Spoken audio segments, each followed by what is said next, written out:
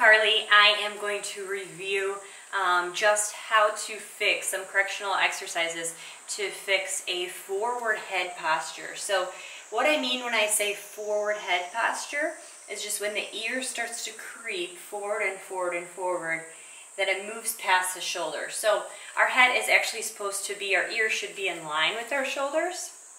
And as we go about our day, um, where we're sitting more often or we're on our phones um, very, very often or on computers, as we start to fatigue, typically our head and neck will start to creep forward. Um, this is something to check out your work ergonomics and make sure that your chair is at the proper height, make sure your elbows are at the proper height, your screen is at the proper height. That's the major one for the forward head position. Um, be sure to check out the blog to make sure that you're in a good um, seat while you're working for 8, 10 hours a day on a, on a chair. So we start to develop these naughty habits. Also, most people spend an average of four to five hours on their cell phone. That's an average. If you're like, there's no way I don't spend four to five hours on my cell phone, well, guess what? You're in the minority then, because most people do. That's the average number. So what happens from our iPads, cell phones, apps, all these things that we spend time on is um, most people keep their phone down here and their eyes are following. And so that's creating this weight of our head to continue to put pressure on our cervical spine. Now, how you can tell if you have um, the start of a forward head position or posture is um, just checking if your ear is in line with your shoulder. So some exercises to correct that forward head posture um, is going to be chin tucks. So with the chin tuck, I'm actually just going to use the L of my hand, and then I'm just actually going to push my head back, and just, I'm tucking my chin in. So when I do this, I'm just going to press my chin back, use my hand to guide it back, and then release. And I'm going to press again, and release. It feels kind of funny.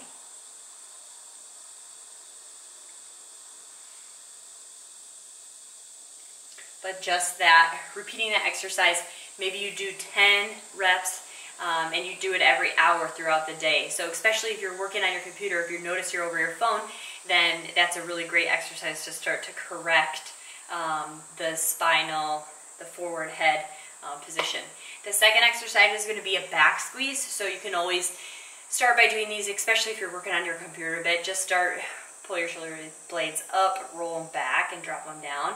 Just stretching out this way, and then actually, when you do this position, you're going to focus on taking your shoulder blade and squeezing it, dropping it into this pocket. Same thing with this other side. You're going to take this shoulder blade and pull it into this pocket. So when I do this shoulder squeeze, I'm going to roll my shoulders back and then I'm going to pull my shoulder down to the opposite pocket. Pull the shoulder down to the opposite pocket. And you can hold that for like three to five seconds, whatever feels good. And then just repeat. So just roll your shoulder blades down and back and then pull and squeeze opposite shoulder into the opposite pocket. One more time. Pull and squeeze. Opposite pocket. Good. So just doing that exercise, maybe you do 10 reps of that every hour as well as your chin tucks and you're going to start to reverse that um, wear and weight of your head moving forward. You're going to start to press it back and get into back um, alignment. Lastly, this is something that you should do just to create a better habit is definitely make adjustments to your computer screen and when you're using a Kindle or an iPad or a cell phone make sure you're bringing it up to eye level or you are going to actually just focus your eyes downward. So you just need to train your eyes to look downward without moving your head downward or forward and downward. So if I were to be doing something on my cell phone, um, I would either move my cell phone up to meet my eyes, or I'm going to move my eyes down to meet my cell phone, but I'm going to keep my ear over my shoulder, so I'm not going to drop my head forward when I'm working on my phone. Instead, I'm actually just going to take my gaze, my eyes, and then look down. So I would do the same thing, and I'm keeping that same alignment. So that's my tips for the forward head position. and a couple correctional exercises you can do every day, every hour. Doesn't require any equipment.